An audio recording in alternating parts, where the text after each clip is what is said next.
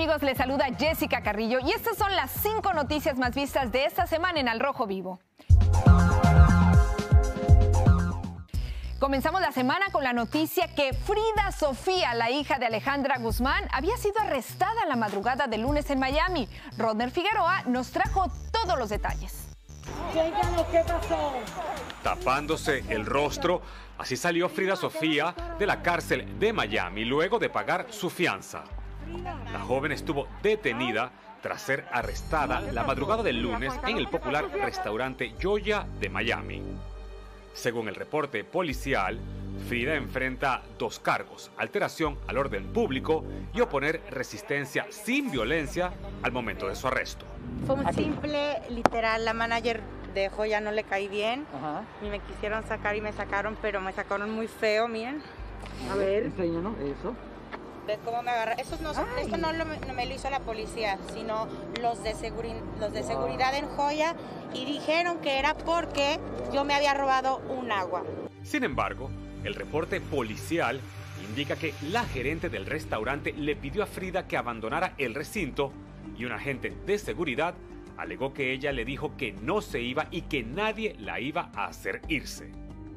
El oficial de la policía reportó además que le dijo que debía irse y que ella le gritó y vociferó que no la podía hacer marcharse y que además intentó empujarlo y fue ahí cuando la esposó mientras ella tensaba sus brazos. Nosotros obtuvimos una reacción escrita del restaurante. A una clienta del domingo por la noche se le pidió que se fuera después de molestar a otros invitados y negarse a pagar su cuenta en el lugar. Un oficial de policía fuera de servicio que está en el lugar todas las noches le pidió repetidamente que se fuera y cuando ella se negó, la arrestaron y llamaron a más oficiales a la escena. Los quiero demandar, también me agarraron el, mi teléfono porque cuando me estaban atacando, porque eran los de seguridad, entonces cuando me empezaron a atacar y agarrar el, todo el vestido lo traía hasta acá, se me veía todo en primera. Y se burlaban de mí. y se robaron mi teléfono porque los estaba filmando de lo que me habían hecho. Entonces mañana sí pienso ir y levantar cargos porque no se vale lo que me hicieron. La abogada Sandra Hoyos, que no representa a Frida Sofía en este caso, nos dijo lo próximo que tendrá que enfrentar la hija de la Guzmán, en corte. No sabemos si ella va a enfrentar un juicio, aún no hay cargos en su contra hasta donde revisamos esta mañana. El estado de la Florida es el que tiene que tomar la determinación después de evaluar las evidencias si tienen suficiente para ingresar cargos formales. ¿Sofía tiene la posibilidad de mandar al restaurante o no? Si ella puede establecer que el restaurante usó fuerza excesiva o la, o la acusó de algo falsamente, por supuesto que ella puede traer una demanda. De nuevo, sujeto a todas las evidencias que ella pueda tener, ya sea en su celular o por parte de terceros. A su salida de la cárcel, solo la esperaba la prensa. ¿Saben qué triste que, que nadie de mi familia está aquí? Para que vean, literal. Literal, yo no tenía a dónde irme hoy. Según el expediente de su caso, Frida tiene una audiencia judicial en el Tribunal Penal del Condado de Miami-Dade en Miami el 16 de febrero, así que vamos a estar muy pendientes de lo que suceda para tenerles la información. Y otra de las noticias más vistas esta semana es la aparición de un raro objeto en El Salvador. El extraño fenómeno quedó captado en video. Hasta los ufólogos se han quedado boquiabiertos con estas imágenes en El Salvador. Ven a un ave en el cielo cuando de repente un objeto pasa a toda velocidad y luego se divide en dos. No solo eso, en segundos retrocede convertido en uno solo y después desaparece. Algo imposible según algunos expertos de que sea una nave creada por el hombre. Ahora mismo están analizando las imágenes grabadas en el lago de Coatepeque, conocido por supuestas apariciones de ovnis. Y su nueva novia, Yailin, la más viral, han dado mucho de qué hablar esta semana en las redes sociales y la cosa se puso aún más interesante cuando Carol G lanzó unas cuantas indirectas a su ex. Rodner Figueroa, como siempre, nos trajo lo que estuvo en boca de todos. Como pólvora, corrieron las primeras declaraciones de Anuel sobre su nuevo amor. A pesar de que el cantante se negara a hablar sobre los motivos de su ruptura con Carol G, en primicia sí nos confesó que había encontrado nuevamente el amor en los brazos de la cantante dominicana Jailin, la más viral. Ya eso es pasado, yo tengo una relación nueva, está en las redes, tú la has visto. Yo, bueno, visto. cuéntame de Yailin, pues hablemos de Yailin. Está hablando mucho de Carol, falta, ah, ah, faltándole respeto háblame a háblame, tienes toda la razón, no es de caballero. háblame de Yailin, que te veo muy contento con Yailin. Lo que, se, ve, no se, comentarios sí, lo que se ve no se pregunta en las redes. Tú sabes, la felicidad no hay que, la felicidad se ve. Estas declaraciones en primicia se convirtieron en noticia y de inmediato acapararon los titulares de los medios de entretenimiento. El mismo viernes, por circunstancias laborales o cosas del destino, Carol G se encontraba en República Dominicana, en la tierra de la nueva pareja de Anuel, y desde allí publicó este video exhibiendo su escultural cuerpo en un sexy bikini. Al día siguiente, durante su concierto en Altos de Chabón, la colombiana habló de una infidelidad y aunque no dijo nombres, sí aseguró que una mujer le había quitado su novio y además le lanzó una advertencia a su rival. Que se metió en mi relación y que me lo quitó. Al final del día, si fue así conmigo, como era de esperar, el momento se hizo viral en las redes y los usuarios comenzaron a atacar a Anuel y a Yailin en sus comentarios. E inclusive, algunos lo hicieron desde el mismo concierto. ¡Eso, mami! No, no, pero tan loca que comparándola con Yailin, ¡la mejor Pero Anuel no tardó en responder a los ataques y a las críticas y encendió aún más la polémica subiendo un candente video junto a su novia mientras se daban un apasionado y explícito beso, con la leyenda que hablen toda la que quieran, yo nunca te voy a dejar sola.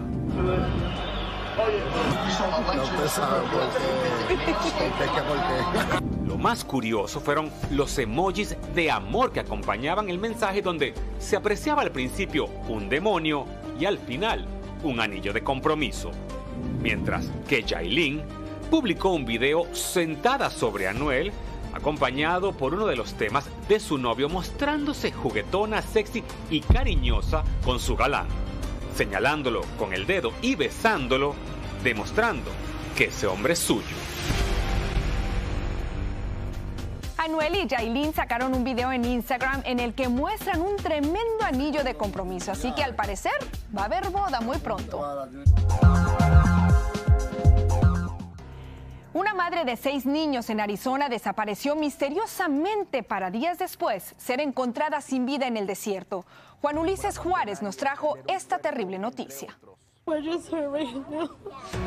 Es la triste realidad que esperaban no fuera cierta. La familia de Irene Luevano recibió la dura noticia que el cuerpo de Irene había sido hallado esta tarde en una zona remota del desierto en el condado La Paz a dos horas al oeste de Phoenix, cerca a California. Justo cuando ellos hacían el esfuerzo por dar con ella. La encontraron, pese a que nomás la tiró por el desierto.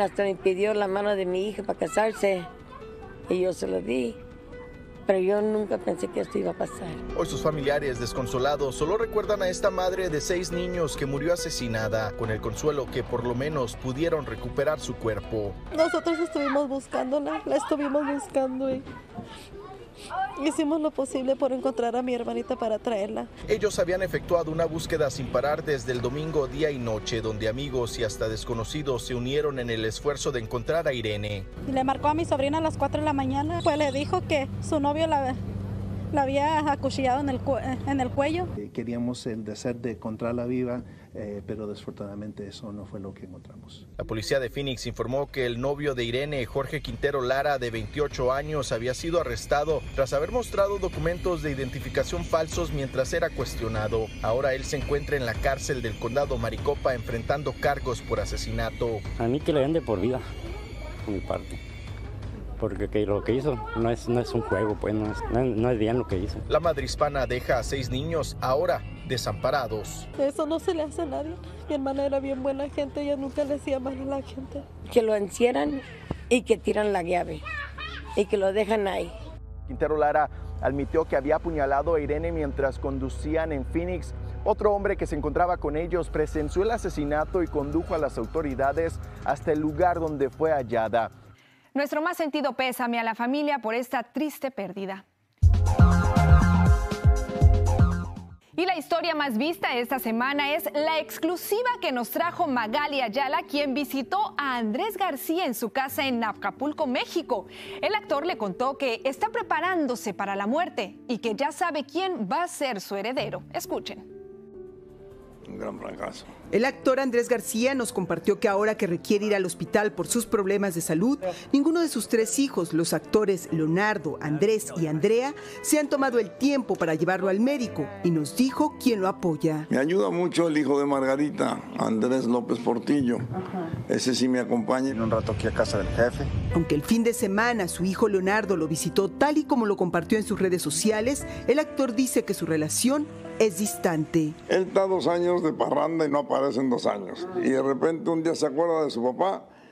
Y yo, papá, te voy a ver allá y te voy a visitar y viene, se me, eh, eh, y se está a mediodía o tres, cuatro horas y ya vuelvo a desaparecer otro año. Eso no es, eh, ¿me entiendes? Visitar a tu papá. ¿Con Andrés es lo mismo? No, porque Andrés vive en Miami, entonces no, lo veo muy poco. Quiero que vino una vez en 10 años, ha venido una vez. ¿Y Andrea sigue alejada porque ya ve que... Andrea no sé nada, me interesa nada. Paradójicamente, sus hijos fueron su inspiración para construir esta propiedad a la que llama el paraíso.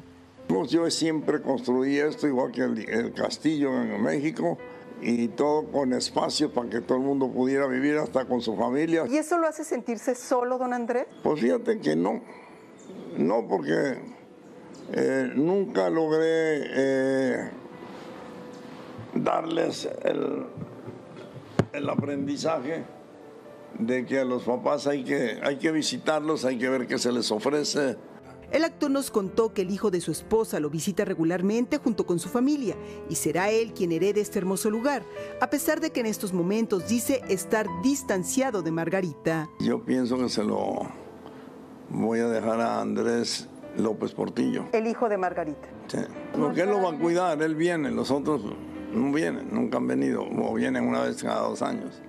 O sea, no les interesa. Hace dos años, Andrés decía que el ahora precandidato a gobernador de Quintana Roo era el heredero mayoritario de todos sus bienes, pero las cosas hoy son diferentes. ¿Y con Roberto Palazuelos qué pasó? ¿Finalmente ya se arreglaron? No, no hay nada que arreglar. él, por, su, él por su lado y yo por el mío. Pero como les contamos, el actor nos dijo que el pasado viernes cumplió 22 años de matrimonio con Margarita, pero se peleó en el último minuto. ¿Pero va a seguir con ella o se va a divorciar de ella? No tengo idea. Vamos a ver, ya vamos a ver qué pasa. ¿Le tiene miedo a quedarse solo, sin un amor? Ya estoy solo y me voy a morir solo probablemente. Es una consecuencia de, del tipo de vida que yo he querido llevar. Hoy a la distancia, ¿cuál diría que es el aprendizaje de haber estado con tantas mujeres? Serían las palabras de Sinatra. Hay que ser más hombre para tener una sola mujer que para tener muchas. Yo no he podido hacerlo. Nuestra Magali también conversó con la esposa de Andrés García, quien le confesó que las peleas siempre han formado parte de su relación, pero que tanto ella como su hijo quieren muchísimo al actor. Así me despido, gracias por habernos acompañado. Recuerden que nos pueden encontrar todos los días de lunes a viernes a las 4.3 Centro en El Rojo Vivo y en todas nuestras plataformas digitales. Nos vemos.